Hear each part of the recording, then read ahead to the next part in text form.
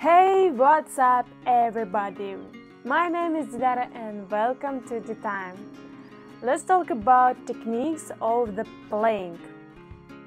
In addition to the basic techniques of playing domra, there are many other techniques that allow you to perform more interesting, more diverse and better convey the tempo of a particular melody. All variety of techniques can be combined into several main groups based on the general sound effect. Harmonics, pizzicato, vibrato, glissando, effects of a timbre, and sound effects and maybe arpeggio and slide. We will divide this class into several videos in order to analyze each technique in detail. Let's start with timbre and sound effects.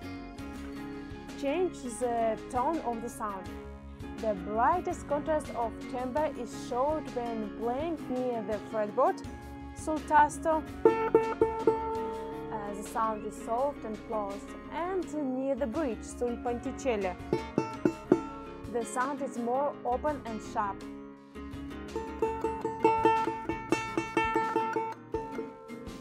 Execution method. Sound is extracted by the pick. Move your hand from the main picking point to the bridge or fretboard to experience a completely new timbre of sound. If it is as close as possible to the bridge, the fingers should hold the pick firmly in order to avoid it falling out, because string tension at the bridge is strong here.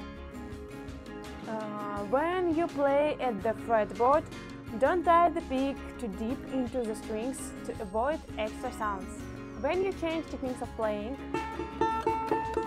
Move your arm with the help of forearm and do not bend it.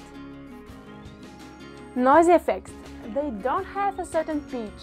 Emphasize the rhythmic pattern of this piece of the playing, imitating percussive instruments. First, playing out the bridge.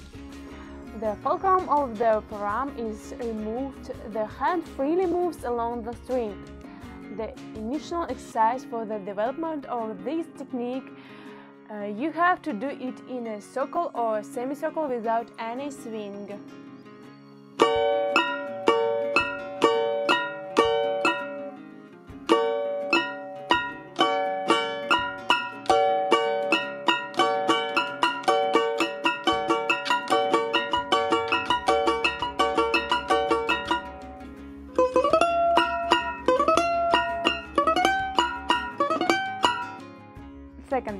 Playing on the pick guard. Beats with the pick in accordance with the specified rhythm.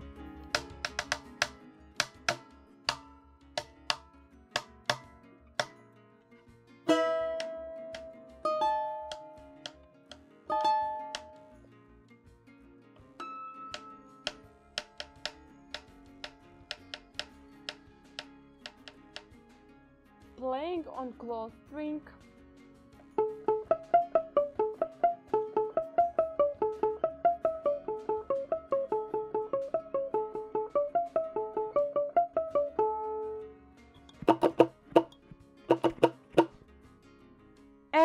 playing with the pick on metal nuts.